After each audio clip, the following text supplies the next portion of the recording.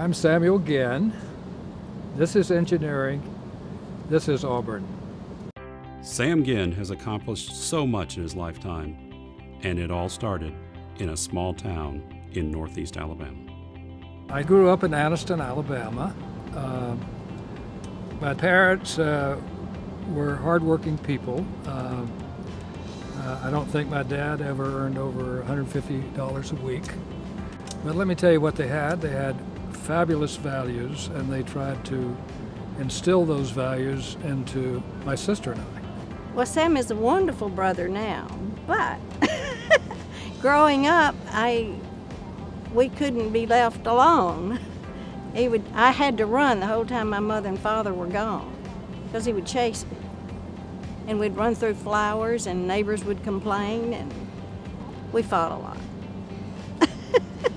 At least I ran a lot. We had family reunions every year and we're huggers and and so we've always been close as a family. And uh, I think um, uh, that gave us a tremendous start. And when you add to that uh, the community we grew up in, uh, it, it uh, gave me a real advantage in life. Uh, we went to Anniston High School together. He was a basketball player, and I was a tennis player. All the pretty girls were in his class, so we we kind of invaded his class to, for dates, and so we would know each other that way. He was a real leader in the school. He was uh, president of the senior class, and he was president of his Y chapter, and uh, he was a cheerleader, and, uh, he, and he was voted most uh, most popular boy in the class. Well, I think once he got out of high school, he became more serious about what life would be and what he needed to do in life to make a, himself successful. Uh, after he got to Auburn, I, I saw a big change in him, and I think he was he was knew that he had to get an education.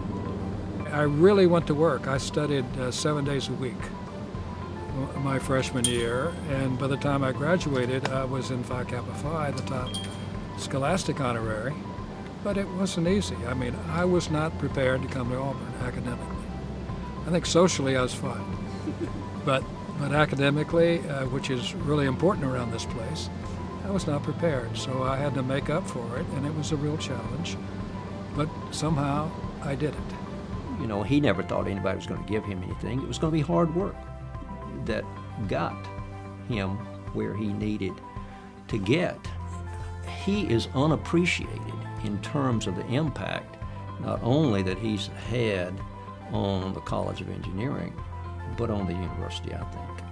So my career really never stopped. I was one of the youngest vice presidents in AT&T's history, and then when uh, the Bell system was broken up, I ended up in California and ended up CEO of that company. And then I spun off the wireless assets and built a, a wireless company around the world. I moved my family 12 times. Uh, to achieve all that. And my wife deserves immense credit for keeping that family going and keeping the kids in school and out of trouble and so on and so forth. I was traveling around the world. Success followed Sam throughout his career, culminating in the sale of his company AirTouch to Vodafone. Once completed, his thoughts now shifted to how he could best help those that helped him. I had been thinking about um, my obligations back to those who had helped me along the way. And of course, Auburn uh, pops up as uh, number one on my list. And well, the industry I'm in, wireless engineering, I mean, it's going to grow. It's going it, it'll be larger 20 years from now than it is today.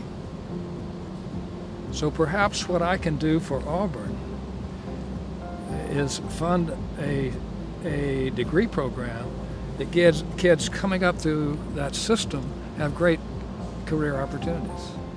When Sam made his gift um, in 2001, it was the largest single gift that any university in this state had ever received. Well, you know, I look at someone like Sam Ginn, someone who has literally changed the world. He's changed the way that we communicate And he's done it with such grace and such integrity and such dignity. And I've watched him and the way that he interacts with people and the way that he treats people. He has been a role model for me.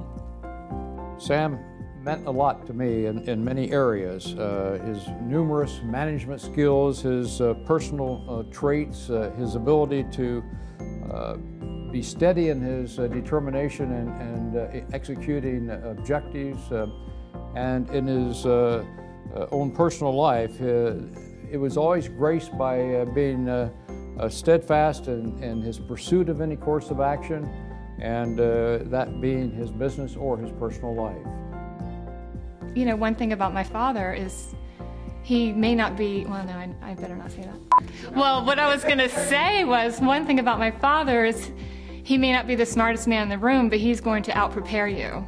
He will be ready and prepared. He's very disciplined.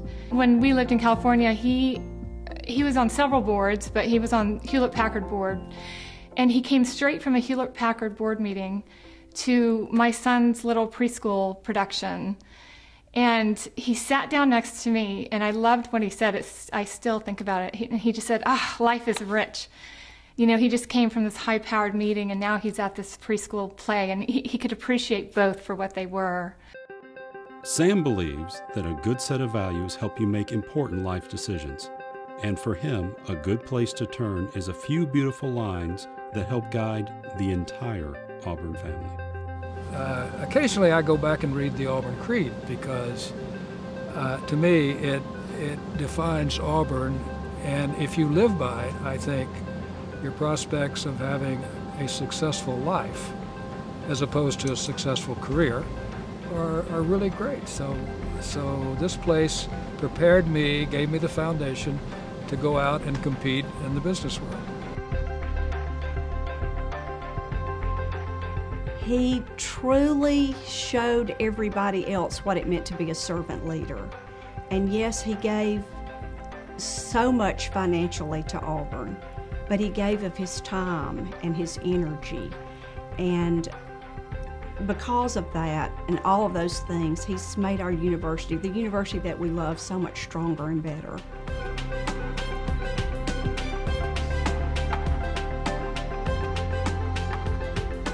When you approach important life's decisions, it seems to me what you do is you always feel comfortable that whatever decision you make is made in the in the sense of what are my values and who am I.